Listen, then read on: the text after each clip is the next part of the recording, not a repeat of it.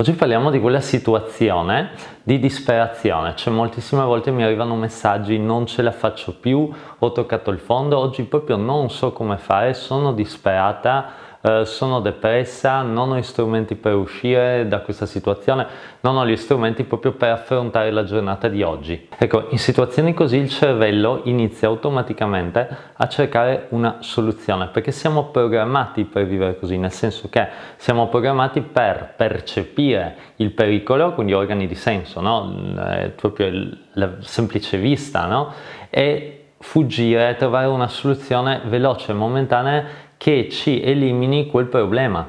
Questo riflesso naturale che abbiamo dentro di noi è totalmente sbagliato se abbiamo fibromialgia, nel senso che non dobbiamo dargli molto ascolto. Perché?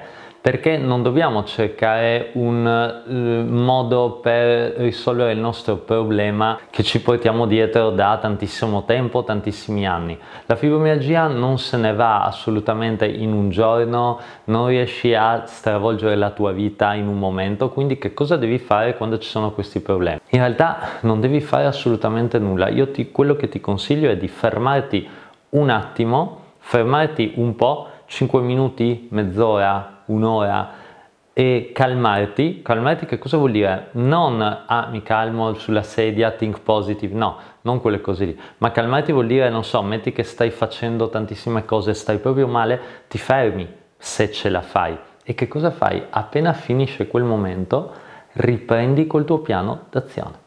Cioè purtroppo non ci sono altre formule magiche, io l'ho provato sul mio corpo, uh, è da anni che lavoro col mio metodo con centinaia ormai di pazienti che ho visitato che stanno meglio, non c'è una formula magica, non c'è una pillola magica, bisogna individuare quel piano d'azione, sai benissimo che te lo propongo all'interno della web, dell'Instagram, proprio di questo canale e continuare. Quando ci sono i momenti giù, l'unica cosa che devi fare è fermarti un attimo, piangere, disperarti, quello che vuoi, ma dopo devi continuare col piano d'azione. Questa è l'unica maniera per uscirne. Sono consapevole che magari questa pillola oggi è un po', no, come dire, beh, non mi hai detto nulla di nuovo. Non ti ho detto nulla di nuovo, ma ti ho detto la verità e ti ho detto una cosa che funziona. Per quanto semplice, a volte ci perdiamo invece in altre cose. Stiamo male, magari eh, cambiamo mentalità, adottiamo una mentalità negativa oppure diciamo no, oggi non faccio nulla perché sto male. Invece no, se adotti questa mentalità di fermarti un attimo e dopo riprendere col piano d'azione, di avere quella mentalità che tu stai lavorando a lungo termine, quindi non ti interessa il fatto che oggi non ce la fai più, è un momento, ma tu sei comunque dentro il tuo piano d'azione, quindi quel momento ha un'importanza non troppo rilevante.